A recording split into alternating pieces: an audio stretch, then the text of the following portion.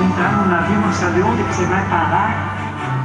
Chegaram aqui no Brasil, pobre, sem carro, sem nada. Foram transferir em Colombo. Vieram da Itália, descobriram o e começaram com, com nada, com dizer que não tem nada.